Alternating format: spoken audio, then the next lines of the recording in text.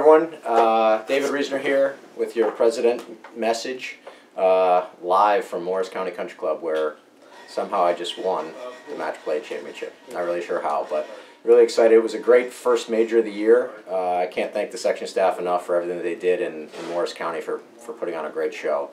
Uh, we are off to a great start this season.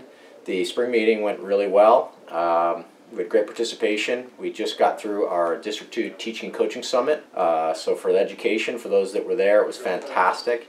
And uh, we're just looking forward to an absolutely great season in 2017. If there's anything I or the board can do for you to make uh, your year better, please let us know.